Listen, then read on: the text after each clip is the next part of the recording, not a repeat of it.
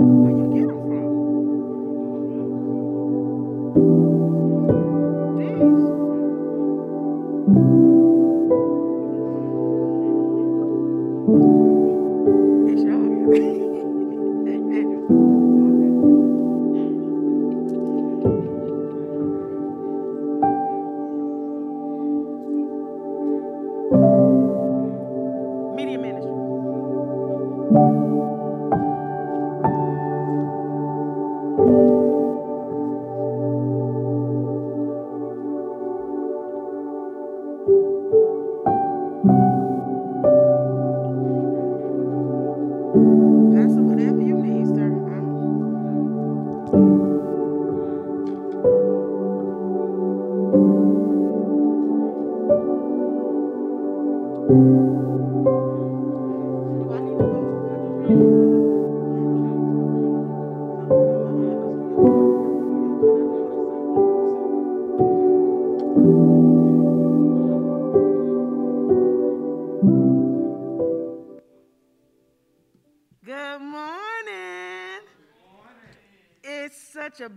to be in the house of the Lord once again.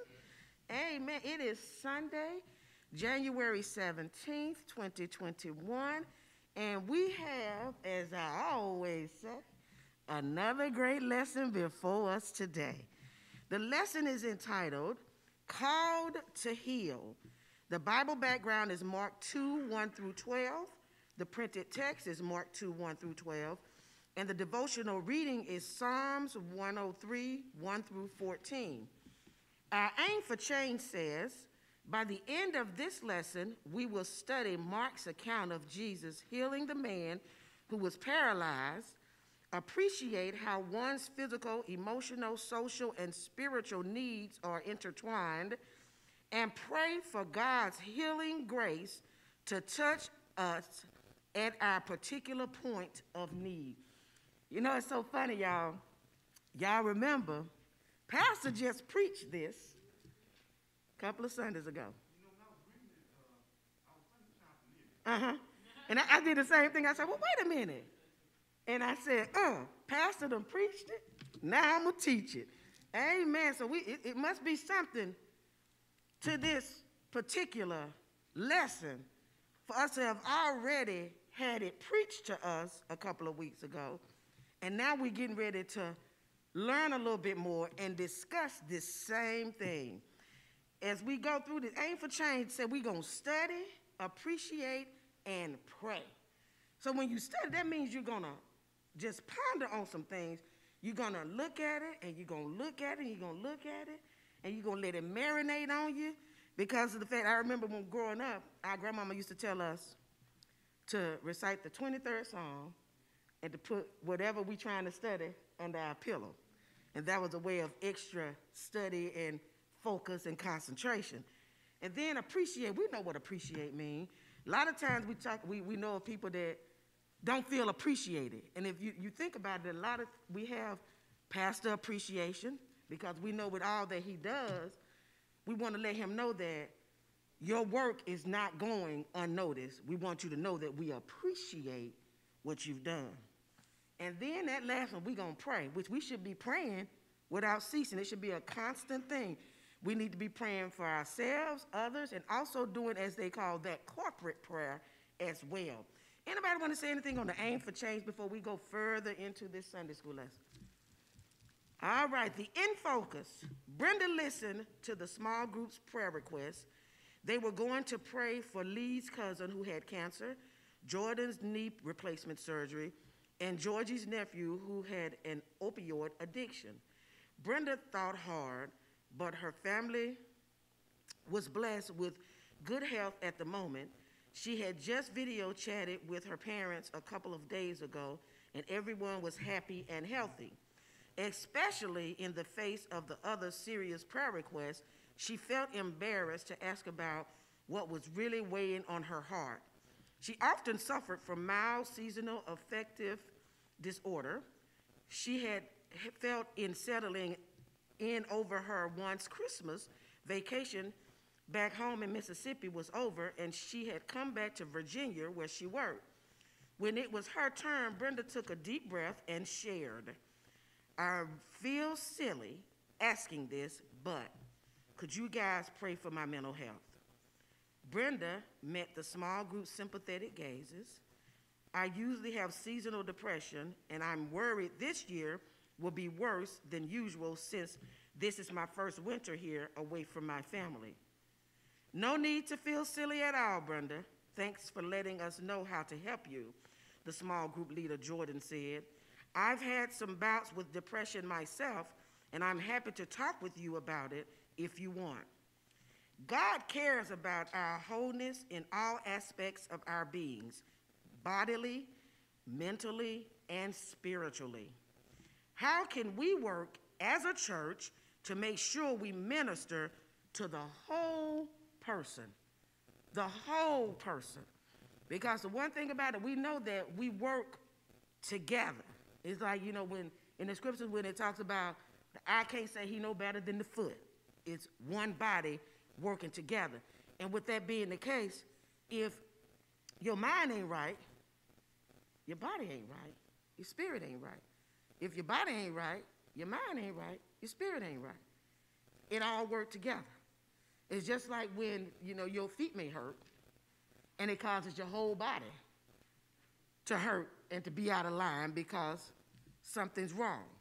Same here when we're talking about the aspect of body, mind, and spirit. It's all together. Anybody want to say anything on this in focus? How can we work as a church to make sure we minister to the whole person? How can we do that? Only thing I can say is some people don't like to ask for help when they're going through situations. Um, they want to hold it in. A lot of times, you have to give them a chance to to be able to to uh, respond to someone else about it. And then they sometimes you have people that tell people things about what's going on with mm-hmm. them, and they use it to their advantage. You mm-hmm. understand what I'm mm-hmm. saying? So you have to be careful and mindful of what you say about what you're going on personally, because everybody you just can't trust with your personal issues. You know what, Andrew? You have said so much. Because I'm going to tell you, when you said some people don't like to ask for help. And um, I can relate to that because of the fact that, you know, there are times when I feel as though I need to be helping others. I don't need to be asking somebody to help me. As you go through life, you get to a place, especially with going through certain things, where you get to where you can ask for help.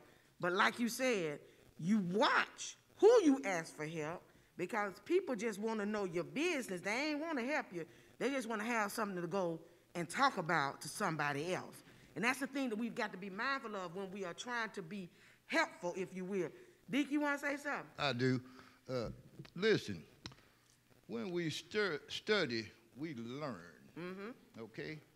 Now, as, as far as this in focus, when we are speaking about prayer uh, uh, pertaining to this aim of change and appreciation, when you, when you go through something in life, you never know who has gone through that ahead of mm-hmm. you. Mm-hmm. Now, mm-hmm. when you learn that someone else has went through the same thing that you've been through, you learn to appreciate it more.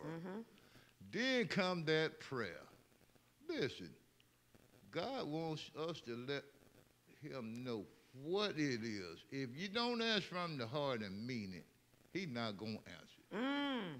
So, come on out with whatever it is. It, we should never be ashamed of what we go through as human beings. Because God said we're going to have trials and tribulations. So, listen, a lot of times, I had seizures before. Listen, I had uh, told somebody about it, and they had went through the same thing. So, hey, they turned, uh, turned me on with some information mm-hmm. to how to deal with it, and I appreciated it mm-hmm. more. Mm-hmm. And so, listen, don't ever be ashamed to say what's going on with you. And, and there's always somebody who might be able to pray a little bit harder than you. Mm. And that prayer get through. Amen. Amen.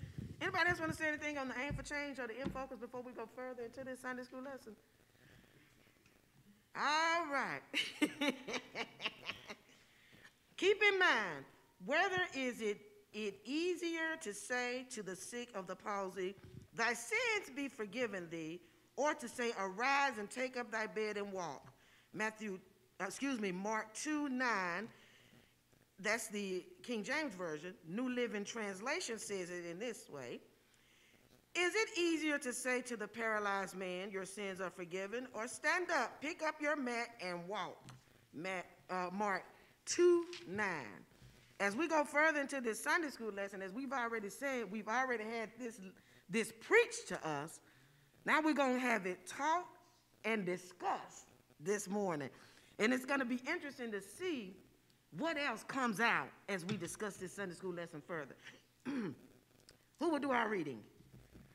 Thank you, Dee. Mark 2, verses 1 through 12. And again he entered into Capernaum after, after some days, and it was noise that the house was full. Back up. And it was noise that he was in the house. And straightway many were gathered together, insomuch that there was no room to receive them, no, not so much as the, as the door. And he preached the word unto them. And they came unto him, bringing one sick of the palsy, which was borne of four. And when they not come, and when they could not come nigh unto him for the press, they uncovered the roof where he was. And when they had broken it, they let down the bed wherein the sick of the palsy lay. And when Jesus saw their faith, he said unto the, said unto the sick of the palsy, Son, thy sons be forgiven thee. But there was certain of the of scribes sitting there and reasoning in their hearts, Why does this man thus speak blasphemies? Who can forgive sins but God only? And immediately when Jesus perceived in his spirit that they were so reason within themselves, he said unto them, Why reason ye these things in your hearts? Whether it is easier to say to the sick of the palsy, Thy sins be forgiven thee, or to say, Arise and take up thy bed and walk. But, but that ye may know the Son of Man has power on earth to forgive sins, he said to the sick of the palsy, I say unto thee, Arise and take up thy bed and go thy way into thine house. And immediately he arose, took up the bed, and went forth before them all, insomuch that they all that they were all amazed and glorified God, saying, We never saw it in on this fashion. Amen. Thank you, Deke. The one thing I was thinking when Deke was reading, reading these uh, scriptures, one word kept coming to mind as he kept reading determination. And there was determination and wrapped in faith in this. All right, let's go on a little bit further. The people, places, and times. Palsy. This disability is due to the loss of motor function of muscles or certain nerves. It refers to all forms of paralysis. The word palsy translates to the Greek word palata- palatucus, from which we derive the English word paralytic or paralysis. The man in this week's scripture is paralyzed, hence, he is unable to walk by himself to meet Jesus. Matthew records the Capernaum centurion asking Jesus to heal his servant of paralysis, which caused him terrible suffering. The apostles also healed those who suffered from this condition. Now, as we go into this lesson, we talk about palsy. It's already given us the, the, uh, the definition and explanation as to what palsy is and the fact that it is a paralysis. You can't move a certain part of your body.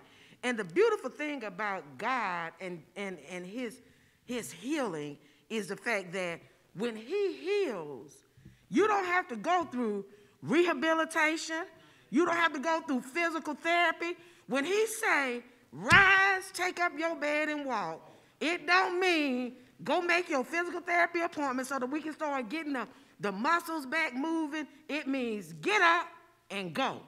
And that's a beautiful thing, especially when you know and you, you, you've known of people that have had some type of injury where they had to go through some type of therapy in order to get the muscle tone back, to get the movement back. But this person, all he had to do was have that faith. There you go, that faith in Jesus. Amen. Anybody want to say anything on the palsy and the people, places, and time before I go a little bit further?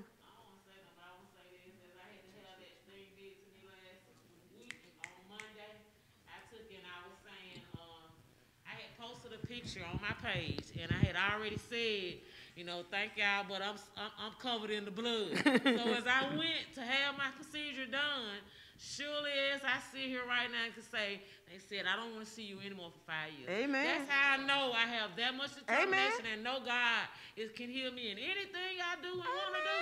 Amen. God got me. Yes, I, he does. I just, I love that. Amen. Amen. All right. Scribes, often called lawyers, doctors, or teachers of the law, they were not considered a Jewish sect or a party, nor were they priests. The title scribe referred to their capacity as transcribers of the Hebrew Bible. They could copy the entire Old Testament by hand onto new scro- scrolls when a new copy was needed. This careful, precise copying of the entire law, prophets, and writings gave them great knowledge of the scriptures. Mark presents the scribes as often in the company of Pharisees and of the chief priests and coming from Jerusalem. The question says Have you had special training or a profession that gave you expertise in a subject? How do you and others value that skill? Now, that could be associated with any type of training that you receive. Because now that you've been trained in it, you have special training, you have somewhat, if you will, of an expertise in that particular skill or subject. It's just like when you think about different opportunities in the church. I'll use my pastor as an example. Pastor is talented with playing the piano. Uh, so therefore, if we are in need of a, a song, pastor can go over to the piano and play. Now, one of us could go over to the piano, but it won't be music that you'll hear. It'll be banging because that is not, if you will, our field of expertise. But the one thing that it shows is that we all got an expertise in something. Somebody else's may be that they are a good cook. So they may be a part of the kitchen ministry to be in the kitchen. But if you don't know how to boil water, the kitchen ministry may not be, if you will, your expertise. So you, you when you talk about having that training and, and, and that knowledge of doing something specific, here we go talking about special training or a profession that gives you expertise in a subject. How do you and others value that skill? When you say value that skill, in valuing that skill, that means that you are going to use it. because there is no need in having a skill that you've pretty much put on the shelf and don't use it. It makes me think about in Indian Creek when we when we had Sunday school convention, one of the, the programs is geared towards your talent. It says use your talent for the master. So therefore you may have special gifts that can be used for service. Anybody want to say anything right there under scribes when we talk about service and talents and professions and expertise? Well, all right then. Background. The news of Jesus, the worker of miracles, spread throughout Capernaum. This was an exciting time. The community had never experienced a healer and teacher like Jesus. No wonder Mark 1 32 through 33 speaks of the townspeople bringing all the sick and demon possessed to Jesus. And in Jesus' great compassion, he healed every one of them, but he too needed a time of restful healing. So the next morning, he departed to be alone with the Father. The scriptures do not tell the length of Jesus' solitude, but his time was shortened by the disciples' appearance. Jesus did not appear to be irritated by the disciples' presence, but informed them he must preach in other places. Let us go into the next towns that I may preach there also, for therefore came I forth. Of a certainty, there were more people in need of healing in Capernaum, but Jesus knew his mission was to spread the gospel to everyone, so he traveled to other towns. The question says, do you make time to recharge with periods of solitude? Do you make time to recharge? You got to. It's just like we, when we talk about our pastor, say, Pastor, you getting your rest? You getting you some downtime? Pastor, turn off your phone. Give yourself that little time because, you know, we know that you, your job is not the most easiest job. And so you need that regroup time. And, you know, you can think about that with any of our jobs. We need that regroup time because I'm just tickled pink that this is my first time with the company I work for of us getting MLK Day off. And I'm just tickled pink. It's like, what? Yeah, so it's like I'm, I'm gonna I'm gonna sit back and I'm gonna enjoy, if you will, the solitude of being able to take that break from work. Because we all need that. Because if you don't, you can get burnt out because you don't have that time to regroup. And when we're talking about Jesus, Jesus was going from town to town, preaching and teaching and healing. And the one thing is that I, in this, we know that there were places that wanted Jesus to stay longer and, and so that they can continue to receive his teaching as well as experience the healing. But as Jesus told his disciples, okay, we've been in Capernaum, we still got some other places that we need to go. We got places to go, people to see, people to heal, people to minister to, sins to be forgiven. He's got a lot to do. He's on a, if you will, he got a schedule. He's on a time frame because he got a lot to do because he know where he's headed. He was but on a mission. He was on a mission. Amen. Amen, D. We should go as uh as we go wherever we go Mm-hmm. as Christians. We should be able to tell somebody about Christ everywhere that we go. You know, Amen. it's, it's, it's a, it, that's amazing for that to be taught because he had a mission here, there, and everywhere. Mm-hmm. And then, you know, he said, "Be like me, spread that gospel Amen. everywhere." Amen. Amen. Amen. Anybody else want to say anything on that background before, before we go further into this? All right. At a glances, Jesus preaches, Jesus pardons, Jesus heals. Jesus preaches. When Jesus entered Capernaum, he preached the word, meaning the gospel of God's kingdom. Mark's description of the enthusiastic crowd that gathered suggests that it filled the house, jammed the doorway, and spilled out into the street. What a tribute to the ministry of Jesus. Four men carrying one sick of the palsy joined the crowd, but were unable to access Jesus through the doorway. Therefore, to get within touching distance of Jesus, they carried the paralytic up the outside stairway to the roof of the house. The Oriental house structure in those days were one or, two stories. Built in a rectangle or square, they had one door that opened into an open space called the porch. Often the porch contained a stairway that led to the roof. So these friends saw the roof as a means to reach Jesus. They tore the roof open and lowered the paralytic on his bed down through the opening to where Jesus stood preaching. What a scene. The question says, share about a time you had worked hard to help a friend hear the word of God. You just, exactly. Amen. And the one thing that you, you see, these, now notice he said, friend.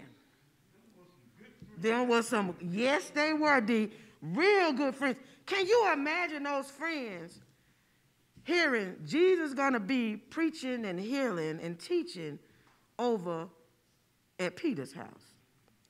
And so we need to get you over there so that we can get you healed.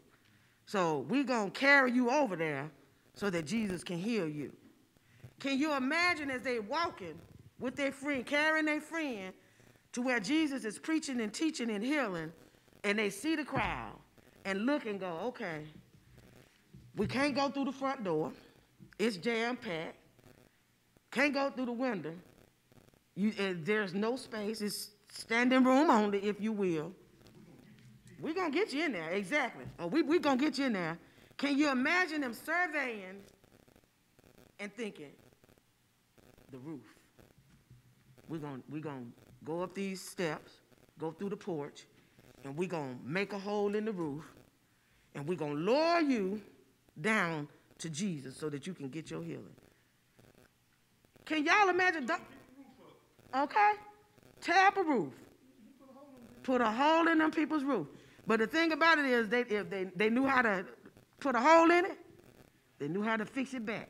You know, and, and the thing about it, y'all think about that. Can y'all imagine being so determined, so determined to get your friend in to receive a healing that you're not going to let what you see exactly. Not going to stop you, not going to deter you, not going to discourage you. We're going to get you in there. What's so good about that is they was just as much of believers mm-hmm. as he was the, mm-hmm. the mm-hmm. person on that bed. Mm-hmm. See, they had to believe too. That's the great thing, knowing that, that, I'm, I'm going to take you to Jesus. That you faith. That's 4 mm-hmm. plus him. That's mm-hmm. 5 He said only it takes two. In the midst of two, I'm there. That's awesome. Whoa. Amen. Amen. Before Jesus, that he would be healed, and mm-hmm. they weren't going to let nothing stop them from getting him to Jesus. Ain't going to let nothing stop. And, and, and listen, church, this is a, a prime example of doing something for someone and expecting nothing, nothing in, in, return. return. Mm-hmm. Right. Ain't that something? Ain't that something? But you know what, Deacon? What you saying that doing something and expecting nothing in return also shows your loyalty, your faithfulness, your the the the, the strength in your friendship. All of that is exemplified. Those are some, if you will, ride or die, right there. Right there. That's some true friends right there. You know, because you know, those other friends, they'll be there for a minute. Then the next thing you know, they gone. And they uh sending your call to voicemail. But here, these friends are. That's that says a lot. It is. It is beautiful. Anybody else want to say anything right there? All right. Jesus pardons. Jesus knows this extraordinary action was based on extraordinary faith. He pardons the crippled man's sin. The teachers of the law said nothing but were outraged as they pondered Jesus forgiving the sins of another. Based on Old Testament laws, the scribes knew only God had the authority to forgive sins. In their view, Jesus had committed blasphemy, a serious charge that was punishable by death. Even though the scribes do not voice their concerns aloud, Jesus knows their thoughts, which serves as further proof that he is the all knowing, all powerful God. Jesus declares his authority as one who is able not only to heal, but also to forgive sin. Jesus' words convey to the scribes that forgiving sin are no harder than healing. Since Jesus can heal as the scribes had seen him do, then he can also forgive sin. Can y'all imagine the look on those scribes' face when they started talking about in, their thoughts and over there whispering and what he doing? He can't, he ain't got the authority to talk about forgiving sin. Who does he think he is? Only God can do that. Can you imagine the look of surprise on their face when Jesus said to them that not only can he forgive sin, but he can also heal? Can you imagine when they said only God can do that? Can you imagine how many of those that didn't believe and those that did believe? Okay, but but can you imagine because of the fact that Jesus knew their thoughts? They didn't say it out loud, but he knew. Because think about it in the midst of that crowd, and he, all knowing, all powerful, all wise God, heard your thoughts, and then gonna tell you, he gonna answer your question even though you didn't ask it out loud. Okay, you ain't have to say anything, but I know I know what you're thinking. So let me just answer your question. Uh-huh. D, come on, you raise up in your seat. Come on. Oh, yeah, okay. Uh, now, we were just talking about uh, learning different skills at different levels. Now, listen, these scribes, they, that was their skill to, to know uh, about the Hebrew. But listen, just like t- today, it don't matter what you're skilled at. It's always somebody who gonna know a little bit more than what you mm-hmm. do. Mm-hmm. Jesus is the prime example, mm-hmm. right? Right. It is, uh, Jesus. Amen. I just want to share that. Amen. Amen. D. Amen. Anybody else want to say anything on Jesus' pardon? Amen. Amen. All right. Jesus heals. Jesus turns his attention to the paralytic and commands him, Arise and take up your bed and go thy way into thine house. I'm going to stop right there for a minute because in the New Living Translation, I like how he put this in New Living Translation because it tickled me. He said, Stand up, pick up your mat, and go home. And, and I'm like, all right, let, let him know, just pick it up and go. Can y'all imagine the look on the, on the people's face when he said, stand up, pick up your mat, and go home. And he, after being in that, on that mat, the, uh, can you imagine how big people's eyes got that knew that this man has had been all this time, and with those words spoken by Jesus to him,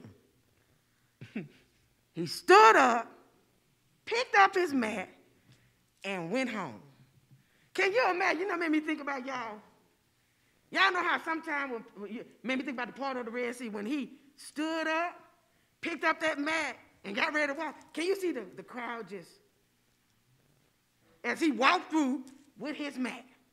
And you know, to be that, to, to be able to tell that, I, you know, I'm like, Pastor, in my spiritual imagination, I could see that man picking up that mat, rolling it up, putting it on his arm, and not walking out, but running out because of the fact that I've been down for so long and now I can get up and move around.